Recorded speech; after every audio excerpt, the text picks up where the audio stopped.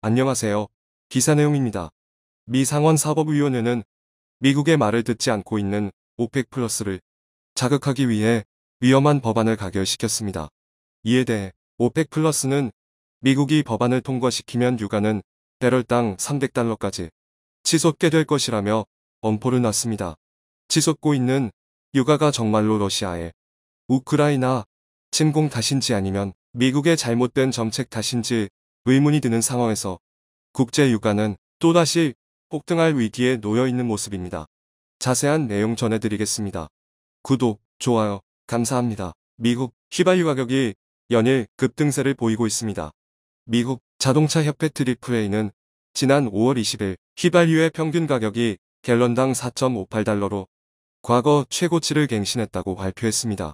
현재는 소폭 상승해 갤런당 4.6달러를 기록 중이지만 한국 교민들이 많이 사는 나에서는 휘발유 가격이 갤런당 7달러 83센트, 리터당 2617원에 반은 주유소까지 등장해버렸습니다. 캘리포니아주의 휘발유 평균 가격은 갤런당 6달러 수준으로 있는 우리나라 주유소 평균 가격보다 높습니다. 지난해 같은 시기 갤런당 2.985달러 정도였던 그게 휘발유 평균 가격은 1년 새 50% 가까이 폭등하면서 리터당 1530원대로 치솟아버렸습니다. 미국 정부는 매일 100만 배럴의 비축유를 반년간 풀겠다고 발표했지만 수요가 몰리면서 이번 주 주말에는 기름값 대란이 우려되고 있는 상황입니다. 한국과 비교해 월등히 저렴했던 미국 휘발유 가격이 한국 수준까지 상승한 것은 이상 사태라고 해도 과언이 아닐 것입니다. 바이든 정권은 휘발유 가격 급등은 러시아의 우크라이나 침공 탓이다라고 말하고 있지만 이러한 주장이 과연 사실인지 의문을 갖게 하고 있습니다. 지난 2월 24일 러시아의 우크라이나 침공 이후 미국 WTI 원유 선물 가격은 약 15% 상승했습니다. 그런데 미국 휘발유 선물 가격은 30% 이상 올랐습니다. 그렇다면 여기서 휘발유 가격 폭등의 원인은 우크라이나 위기만은 아니라는 것을 눈치챌 수 있을 것입니다.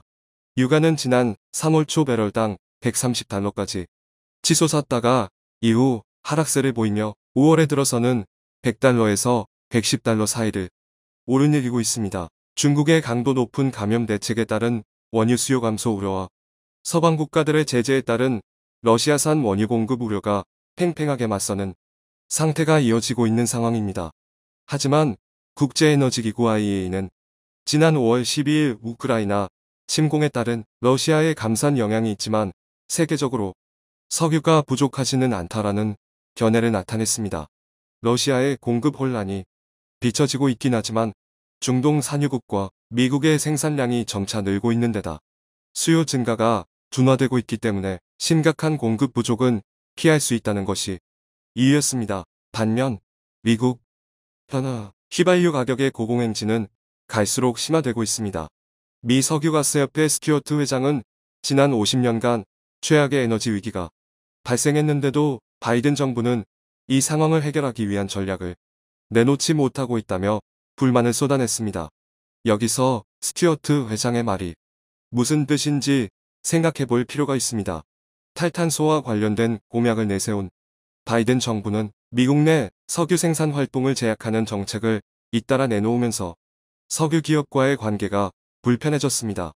유가 급등에 힘입어 미국의 석유 기업들이 기록적인 이익을 내고 있음에도 석유 회사들에게 증산을 감하게 압박하지 못하는 딜레마도 발생하고 있습니다.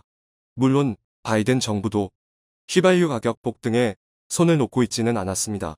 사상 최대 규모의 전략성 유비 축 SPR 방출을 하고 있으며 방출된 원유로 미국의 재고는 크게 증가했습니다. 그중 일부는 에너지 부족 사태를 겪고 있는 유럽에 수출되기도 했습니다. 그런데도 미국 내 휘발유 가격은 전혀 떨어질 기미를 보이지 않고 있습니다. 휘발유 가격이 너무 치솟은 탓에 수요가 감소하고 있긴 하지만 미국 내 재고는 계속 줄고 있고 5년 평균치보다도 적어졌습니다.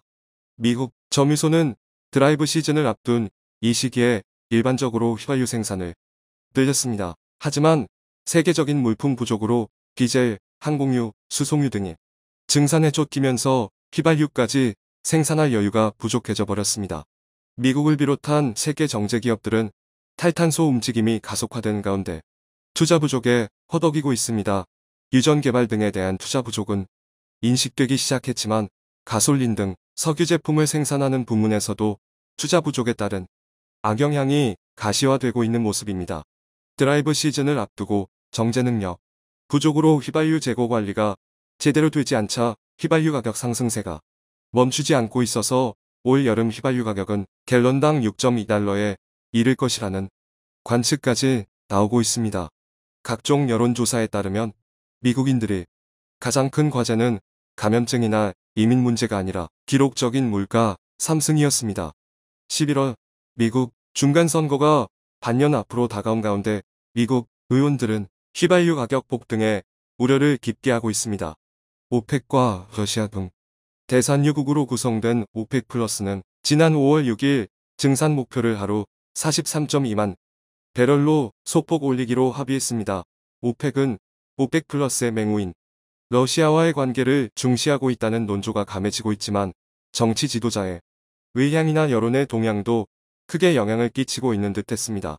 워싱턴 근동 정책연구소는 지난 4월 말 여론조사 결과 중동 지역에서 미국의 영향력이 떨어지고 반대로 러시아가 존재감을 높이고 있다고 밝힌 바 있습니다.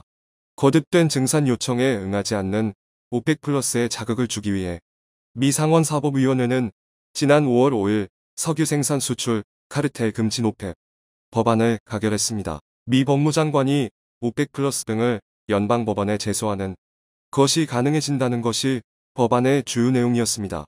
노펙 법안은 지금까지 여러 차례 안건이 폐기돼 이번에도 통과될 가능성은 낮은 것으로 알려졌습니다. 하지만 바이든 정부 출범 이후 얼어붙은 특히 사우디아라비아와 아랍에미리트 UAE의 관계가 더욱 악화될 가능성이 높아지고 있습니다. 마즈루이 아랍에미리트 에너지 장관은 지난 5월 9일 미국의 휘발유 가격 급등을 오펙 플러스 탓으로 돌리지 말라며 노펙 법안이 통과되면 오펙과 미국과의 소송전이 벌어져 유가는 배럴당 200에서 300달러까지 상승할 것이라고 경고했습니다. 압둘라 아지르 사우디아라비아 에너지 장관도 비슷한 견해를 보이고 있어서 노펙 법안은 휘발유 가격을 올리지 않을 것입니다. 기록적인 기름값 폭등의 원인이 미국의 정책 결과라는 것을 반성하지 않는 한 바이든 정권은 궁지에서 빠져나오는 것이 힘들 것으로 보입니다. 청중의 일부 의견. 미국이 자동차 산업 패권을 잡으려고 그러네 우리나라 배터리 기업 다 끌고 가 자동차 회사 끌고 가 반도체도 끌고 가 독일과 일본 자동차 산업에 종말이 오는 건가 폭등 조짐이 보이면 주유소는 이미 폭등시켜버리는 현실 오늘 주유하면서 입이 쫙 벌어지더구만 미국 정책을 떠나 여기 베네수엘라 한국이 공들이면 지금 중국이 엄청 공들이고 있음. 생수보다 싼 기름값.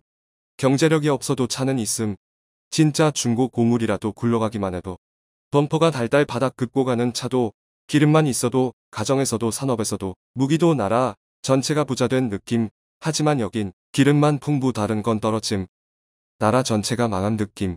중국, 한국이 기름만 확보하면 지금보다 경제력이 엄청 좋아질 텐데 중국보다 한국이 먼저 유가가 폭등하여 올라가면 전기차나 수소차의 경쟁력이 올라감 결국 개솔린 차들의 종말이 다가옴 국제 유가를 계속 올려야 시장이 전기로 돌아서기 때문에 국제 시장의 변화를 이끌기 위해 앞으로 계속 유가를 올려서 화석 연료를 더 이상 채굴하지 않도록 노력하려는 의도인 현재로서는 생산량을 차츰 줄여가는 게 관건인데 막상 이유 없이 줄하면 기존 육아의존 회사들의 반발에 어쩔 수 없이 전쟁이다. 뭐다 조율할 수밖에 없는 상황인 거다. 세계 시장은 결국 태양에너지를 사용해야 함을 알고 있지만 시장에 유통 중인 고부가 육아를 버릴 수 없는 카드였을 뿐이다. 디젤, 항공유 등의 증산에 쫓기면서 휘발유까지 생산할 여유가 부족해져 버렸다. 원래 원유를 정유하면 등유, 디젤 경유, 휘발유 다 나오기 마련이다.